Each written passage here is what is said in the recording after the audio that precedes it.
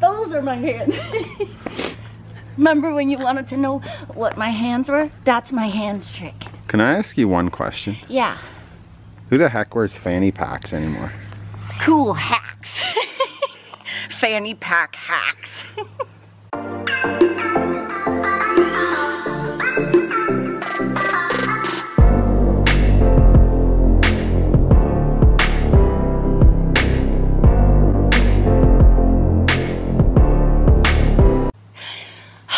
Friends who came back from cardio that wear packs to carry their cell phone. Oh, okay, I got it.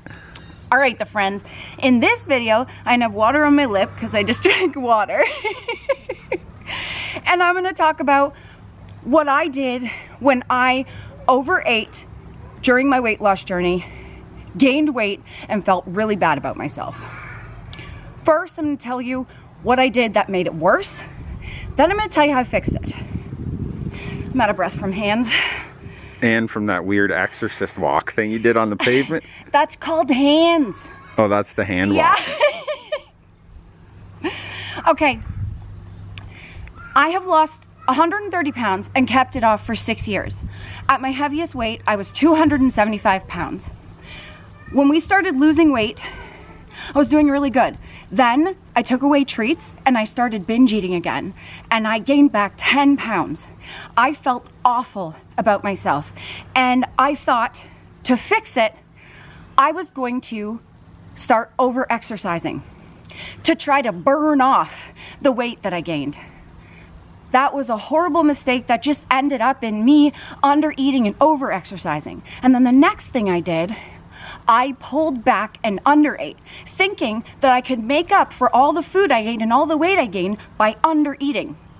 No, that was then my body said, she's starving herself, and it just held the weight. I didn't lose any, and I felt really crappy because I was under eating and over exercising, and then because I had taken away all the food that I enjoyed, thinking I also had to eat only diet food like chicken and broccoli and no carbs, I felt crappy, and then I was binging again because I took away all the food I liked. Finally, I realized I can't punish myself like that because that just puts me in that cycle and I'm gonna gain all the weight back if I don't stop this now. So I loved myself enough to say, okay, I made a mistake. Yeah, I gained weight. It sucks. But if I keep on this path, my health is gonna go right back to where it was when I was 275 pounds. So I put treats back in. I gave myself portion treats and I started eating portions of what I liked again. But first I said, mistakes happen. Weight loss journeys are not linear. You're going to make mistakes. You're gonna fall off track. But the point is, you pick yourself back up and you keep going. And you look at why you fell off track. I took away treats. I, res- I restricted myself. And I tried to force myself to exercise in a way I didn't like anymore. What I really liked was walking or riding the recumbent bike, so I went back to doing that. And I put in foods that I liked. Right now, I eat, I love all of my meals. I drink my water, I put in water flavor so that I actually like to drink it. Yeah, because if, if you guys know our story, me and Nicole went from like a just pop diet of Full sugar. full sugar pops about probably five to seven a day. So we couldn't go to, you know, like all the mainstream advice, just drink your water, drink your water and get rid of all the flavor. No. No, we had to keep the flavor in. So be gentle on yourself. Realize mistakes are normal and go right back on your plan. A lot of people, after they binge, will go, if I have plans, uh, say you had plans to go out for dinner after, they'll not do it. Do your normal day. Do not try to make up for it by taking away food or over exercising. Do continue on with your regularly scheduled day. Eat your regular meal plan. If you already exercise, do not exercise again. If you planned on going out for pizza, even though you went off track already, go out for pizza and just eat until satisfied. Don't punish yourself for making a mistake. Yeah, you got to be gentle. So, like, for an example, what I used to do, say there was a holiday coming up or like my birthday in a week or two, and I overate like the weekend before. Mm-hmm. I would then make up this grand plan that for my birthday, I'm not going to have a piece of cake and ice cream. That is like compounding problems, setting yourself up for more and more setbacks and more weight gain in the long run because you're going to be denying yourself. Yeah, and I did that. And then I would go to the birthday or my birthday and I wouldn't eat the cake. And then later, I'd eat everything that was left over from the party because I denied myself one piece of cake. Imagine at your own birthday party, you're not going to eat the cake. And I didn't. I Christmas, birthdays, I always said no. And then it would end up in binging. So made a mistake, it's okay. We learn from the mistake and move on. So then you learn from what happened. You were restricting, you were taking away food and feeling guilty. Now, let's put in a plan that will actually help you move forward and be successful, less likely to fall off track. I haven't binged in six years in all the time I've kept the weight off because I set myself up for success. I eat treats every once in a while. I'll take a day once every couple of months, eat as much as I want until satisfied of whatever I want. The rest of the time, I eat in a calorie deficit. I eat low calorie dense foods, which means foods that are low calorie that I can eat a lot of, like low calorie ice cream, French toast, popcorn that's fat, low fat, I can eat a lot, feel full, and love my diet. So you gotta love what you're doing.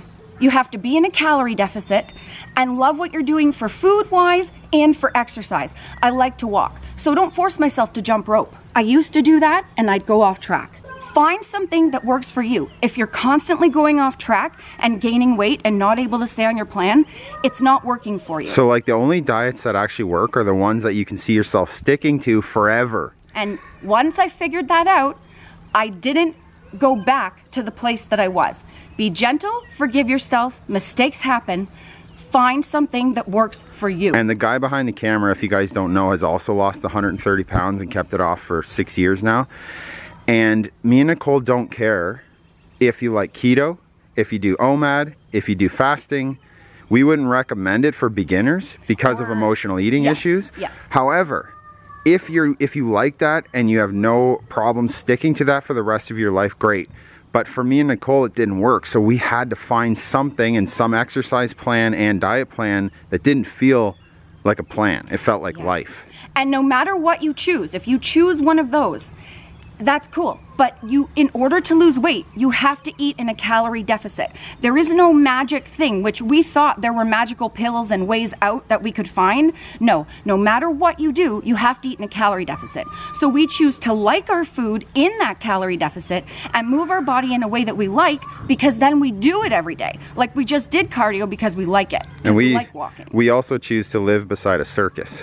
Yeah, I'm actually like, I'd love to go over there and have a circus party right Maybe now. Maybe there's a cake over there for a party. Do you think they'll like my hands? My hands? I think you should. We should just walk into the party on our hands. like that. Oh yeah, and then we'll bring the party to you, fanny packs and all. Show the friends what happens. Whoa, whoa, PG. On. Oh. Show the friends. See when you stay on track, when you like your food. This is what happens, guys. Like whoa. your food. Forgive yourself for your mistakes. I still struggle but I like my food. I like what I'm doing for exercise. And I wear fanny packs. I wear fanny packs with cool chapstick. Show them this. See that? and then I do this. A little bit of this. A little, bit, of, of squat action. Live beside a circus. Do this. Check out this. Whoa. Hey, hey, hey, hey. We can't do that on YouTube. Let's let's end this with another hands episode.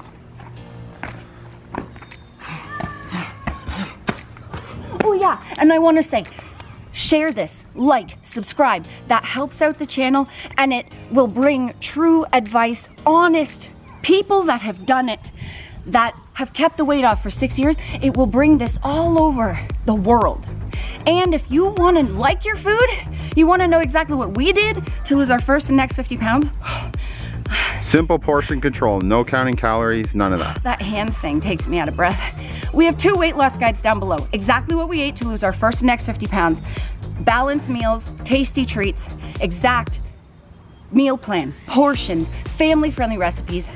Watch these two videos. Do this, do the hands, lawn more it up. Get a fanny pack. Love you guys. Peace and out. See ya. Bye. Remember the friends that weight loss isn't just about the number on the scale. It's also about here and here. Heart and mindset. Fight through it. You can do it. Don't give up.